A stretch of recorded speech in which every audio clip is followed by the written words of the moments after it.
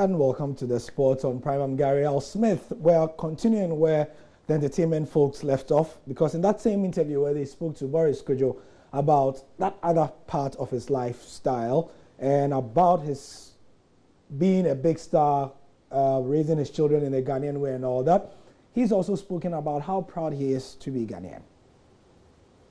Yes, but you know, um, you I think I think it's important that we look at players like Mane and Aubameyang and, and Salah, and we, we say, look, they come from our continent, and we have to use that as as encouragement and motivation uh, for our kids and for our young players now.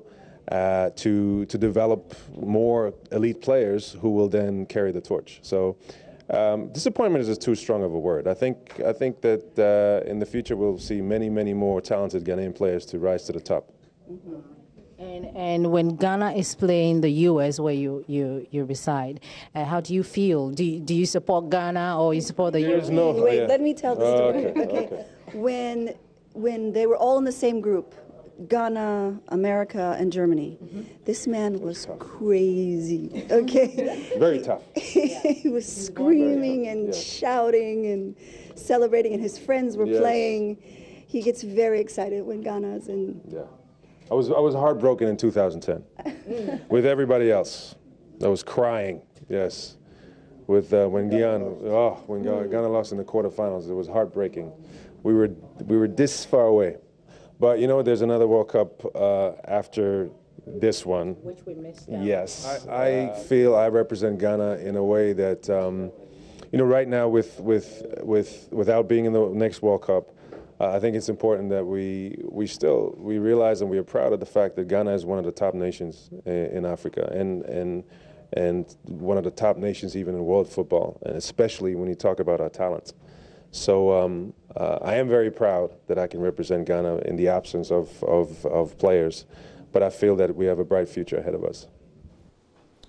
So, as you know, usually by this time, we would know what exactly the event MC or the event compare is going to do. Now, there's another school of thought that says that Didier Drogba will also be a host of the event. Now, the story is that, as has been the case in previous years, the sponsors of the CAF Awards and also CAF themselves have wanted different hosts. So Boris Kodjoe and his wife, as you see, are those wanted by the sponsors. That is Aiteo. Aiteo are the new sponsors. They have taken over from Glo. And according to the information we have, the Confederation of African Football wants former Chelsea legend and Ivorian legend um, Didier Drogba to be the co-host of the awards with Super Sports Carol Tshabalala. And we understand that Didier Drogba will be in town as well. So we'll see how it goes. Another thing that you should know um, that we just picked up in the last 30 minutes is that Shatta Wale will be performing at the, at the awards and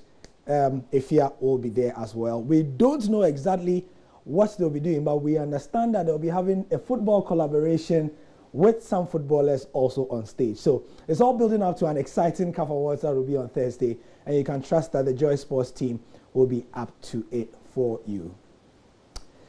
Moving on to the Ghana Premier League, and I, like I always say, the league ended not long ago. The next one begins in February or something like that, according to the information we have from the GFA. And Hearts of Oak say they'll be targeting a trophy in the 2017-2018 season, and that's according to their management members.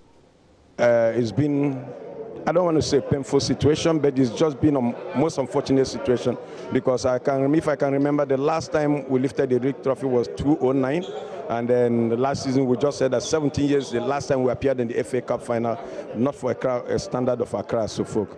Uh, it's very painful in the hearts of our supporters, and that's why you see some of our supporters with the least provocation they react because all those triggers to just send that reaction into their bodies. But uh, we as management, we as managers, we as shareholders of the club have realized nobody wants to invest his money and then lose his money. Once I invested the money, I expect that I recoup my money, but it's not been that way in Accra, so Suffolk. So the important thing is for us to put the structures. We have understood the problems we are facing. As a supporter myself, I feel the pain. I feel the pain of investing my money. I feel the pain of my club not lifting lorries. So we are putting in structure, and that's why we're saying this season we're going to take our time to make sure that we get a good structure, make sure we put the structures in place, get the right players. Some of the players who are supposed to be our key players going into the future have departed from the club. So what do we do? We need to be very cautious. We need to trade cautiously and be able to make sure that we pick players that will give us what we are losing. I mean, yesterday was the 17th year that was the last time uh, Accra Sofo conquered Africa. And we all saw the videos, we all saw the clips, we saw the stadium, we saw the, the people like Osei Kuffour, we saw Ishmael Addo, we saw the goals that were scored. I mean, we saw the Accra Stadium bubbling and all this, and you begin to ask, wow, is that same my same club that you know? But it happens in football. We all seen it with Liverpool sometimes. So we just have to be patient and travel all the way. The important thing is for us to recognize that there's a deficiency and we must solve it. So we're looking forward to look there. This season, no trophies targeted. Well, definitely we must make sure that, I mean, like we said, it's just been a dry season for years, and I don't think that is too good for us, even for us as members of the board and management of Accra. So, so we need to make amends. I cannot say it is a casting stone that we're going to waste, but it's our vision and our promise that this season will be a different season. In the last week, we've seen the build-up of a lot of teams, Kotoko, uh, Medeama, now Hearts of Oak, we've done a bit of inter-allies and so on. I will continue to give you the information as we count down to the start of the league season. Speaking of the league, and the Premiership is still ongoing. Pep Guardiola today complained.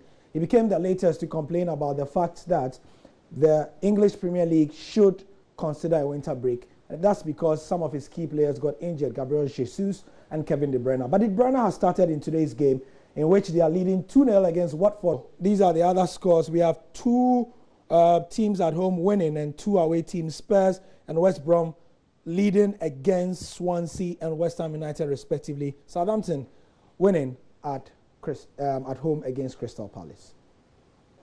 So that's the wrap for now. I'll be back at 10.30 with the football show.